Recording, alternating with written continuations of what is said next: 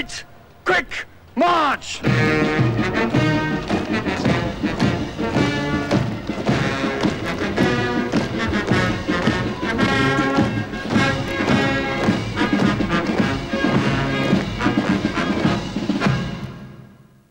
are you in the army, Crispin?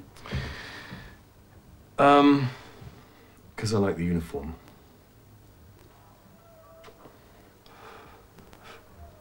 That's a bit of a funny question. No, I drifted into it. Um, but once I got into it, I decided I liked it. It's exciting. You're doing something.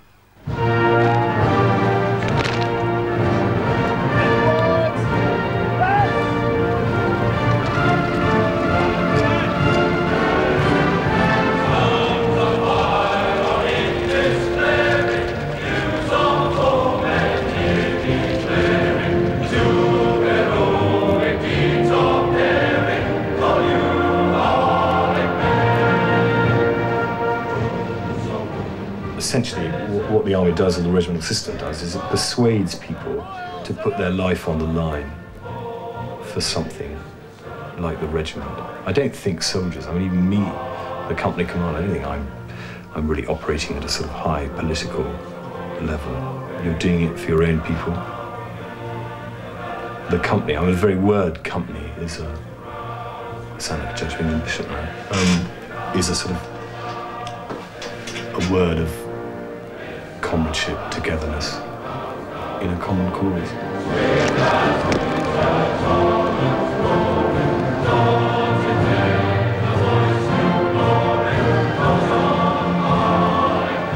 I think it's rather a good word. Company. The Prince of Wales is company, that's even better.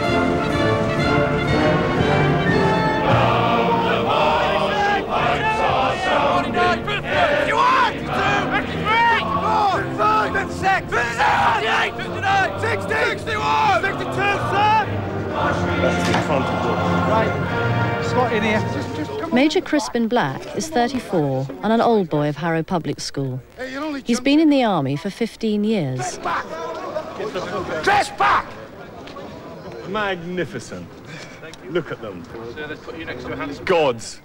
Crispin commands the 100 men who make up the Prince of Wales Company in the Welsh Guards, all of whom are supposed to be over six foot.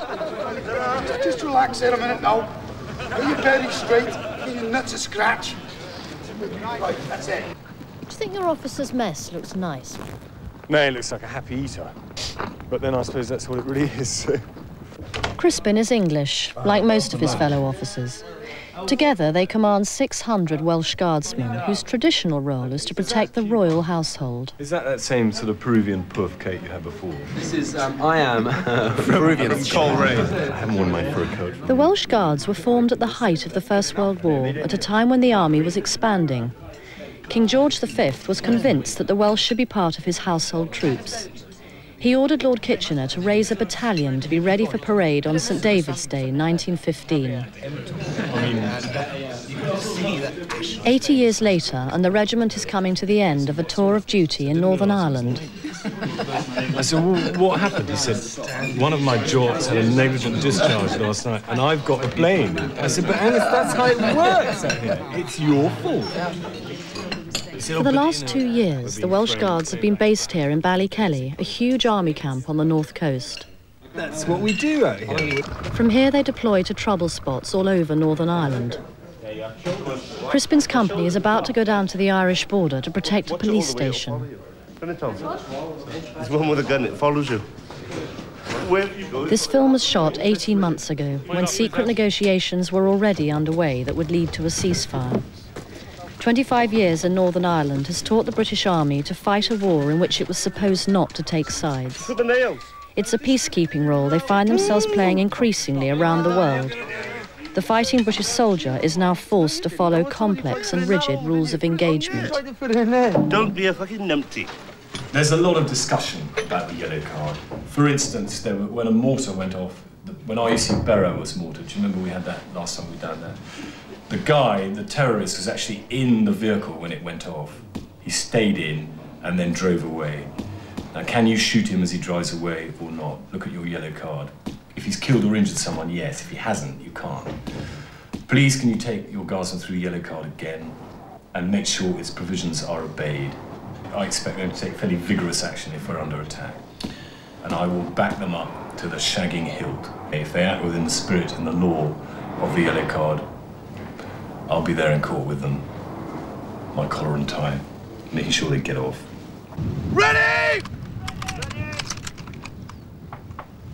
One five-round group in your own time! Go on! The key to the thing is going to be keeping the men motivated. I know, I don't want any hard luck stories. I know it's a nightmare. I know we're going to guard a police station for another two or three weeks. The rotation is easier this time. Uh, and I should be much less forgiving to people that are either idle or screw up because nobody should be tired. Sorry, yeah. Well you done, fallen. Wong. I know that's my grouping anyway. do? Oh, you fired the wrong target. I target. fired the wrong target. Meat. You Meat. both have to fire Yeah, again now. because every time I hit, How there many was a big people have actually had to shoot, Today we did through the working wise in Ireland as opposed to training in this lot? Um, that's how I know they. What do you mean, though? Have you ever had to use a gun? I mean, against someone? Against someone, no. No one's. I think. Well, it was about two people have used a gun against someone since we've been out here for two years, and that's it. No one's actually flipping shot anyone yet. Right? They haven't hit them, right? As you can tell by their shooting today. Useless. Well, actually, I said that. How are you? Yeah.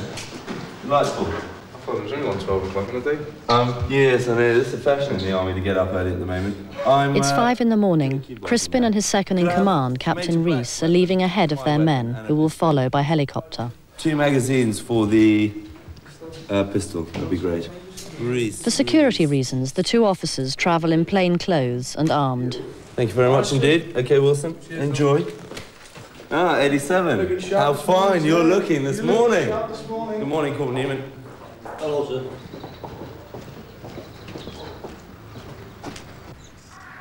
Why does everything in the army have to have, have, to have at dawn?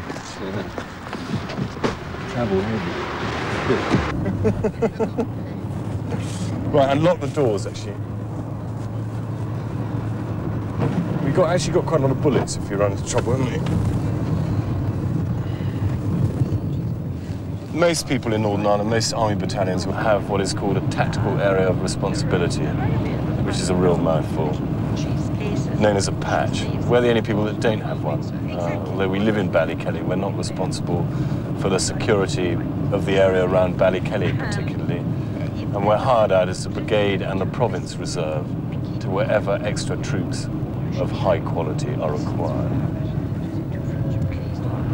Some parts of the province are out of bounds to us, except when on duty and armed.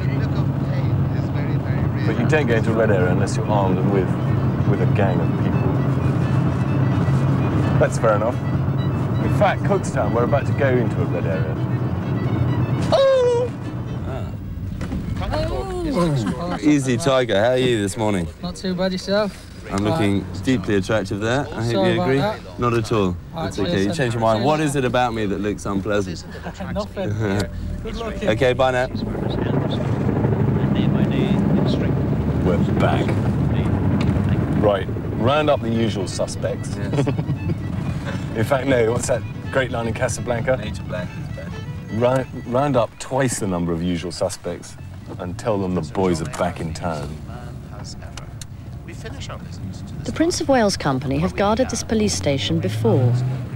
It's being reinforced against the IRA's latest weapon, a new high-powered mortar. Their job is to protect not just the policemen inside, but the builders who are working round the clock to make it safe. This is getting more Monty Python-esque by the minute. He's trying to tunnel in. and so on. It looks really He's knocking down a wall which keeps us alive. Stand by and open the gates for the noble Rees. It's a shame you couldn't get the hill How are you, right. Sticky? Yeah, not so bad. Have you missed me savagely?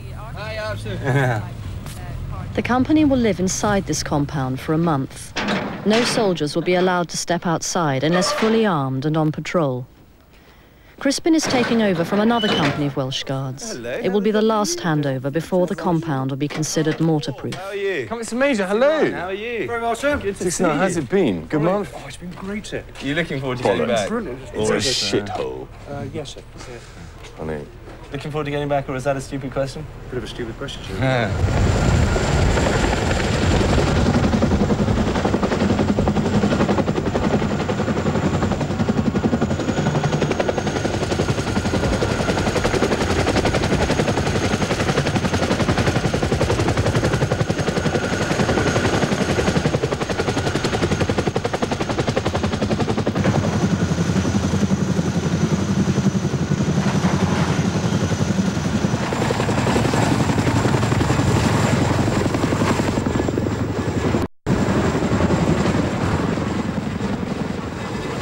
welcome back to Rosslea.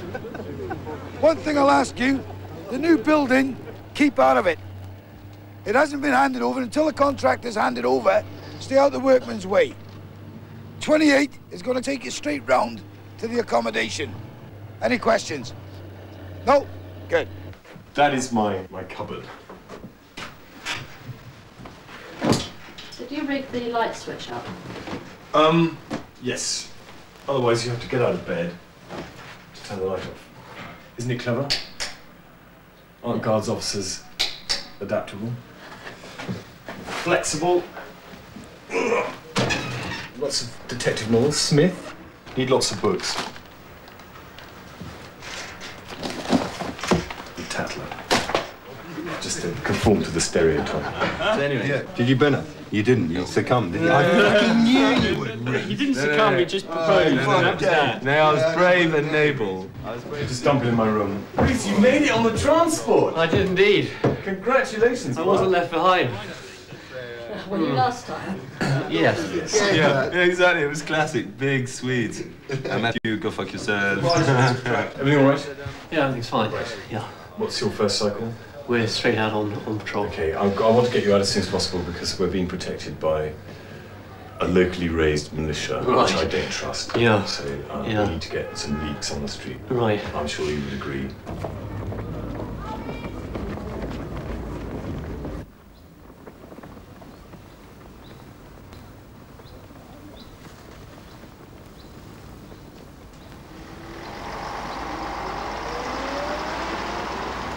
Hotel Zero, this is uh, Hotel 3-1 Charlie, radio check, over. Hotel 3-1 Charlie, okay, out. Listen in, front special pour, hey! Every pass East Springs, clear, clear, clear. Turn your head. We're blessed today. Oh, yeah. We're blessed with this good weather. Better weather than normal. So you have pockets.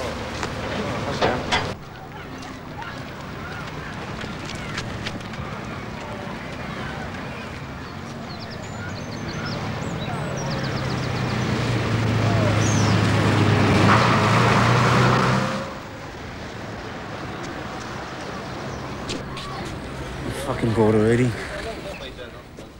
Rosslea is a tiny nationalist village in the midst of a farming community. It's just 500 yards from the border with the Republic. Like the. I might just uh, say a friendly hello to him when he's.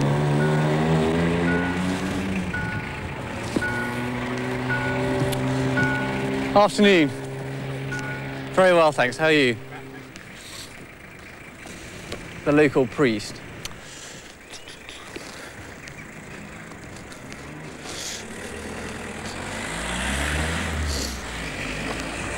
Yeah, I'm not the uh, the warmest of receptions. But uh, So Crispin House things. They're all right. Right. No worries. Also, they haven't, hasn't changed much. Up the Park Road down there? Yeah, Clock Road, very exciting location, very exciting. Where were you for now? Before that, I was in my room. And where are you going now? We'll probably just wander up the street for a bit. Check. There's a gang down there doing the There route is gates, indeed. but I think that's been completed already. Uh, they're floating about down there. Aye, it's I'm sure. quiet, isn't it? Aye, sure. Everybody's really getting pished. Only through renunciation of violence and engagement in the democratic process, a search for a justice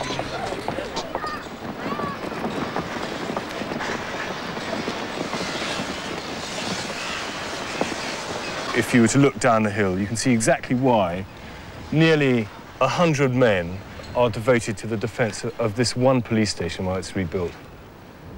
Imagine if you drove a tractor up here uh, with the RA have a Mark 15, big mortar in a gas jar. You could lob it in there just like a whiz bang. Uh, it's 100 kilograms of explosive, and if we're in there when it when it hits, it's goodnight Vienna. Uh, that is why these guys you're seeing here now, they're tired, they're wet, they're probably quite pissed off. They're out here day in, day out, 24 hours a day. What will happen once it's been rebuilt? They'll probably attack it. But at least once it's rebuilt, the, the protection inside it will be enough so that providing you're not standing in the open when it comes over, over the fence, you probably do all right, unless you're really unlucky. At the moment, if they drop one in there now, even on the, on the fortified police building, we'd be fucked, basically. Who pays for the rebuild? Taxpayer. And how much does it cost? Uh, the rebuild, I think each individual station, hmm, I think it's in excess of two million.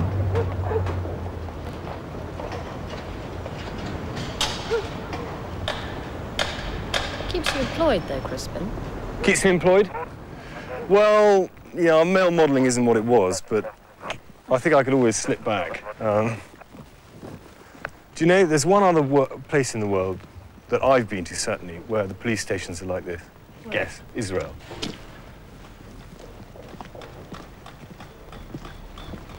Funny that, isn't it? I like that. They try. RUC Rosslea, you know, come in, get a new driving license, have a cup of tea with the police. Those are old days, really. All these soldiers you see here, the guardsmen, are on my flick. I'm responsible for them if they get killed. Therefore, if we roughed up a few people when we came in just to make sure they knew we were here, it's up to me to take the flak for that so that the guys on the ground can be a bit safer. Otherwise, what you want in a democracy is they just want us to sit there and think, "Eh, such a shame the nationalists don't like us and they want to mortar this police station. You've seen a mortar go off. Why have you now, sir? Smokeborough. Yeah. What do you do? Uh, building of a factory. You're a builder, yeah? What's your name, mate? What you've got here is, is simply a fort. Look at it. It's on high ground overlooking the village. It's heavily protected. And you've got, you know, one of the most modern armies in the world living in a fort waiting for the Apaches to come.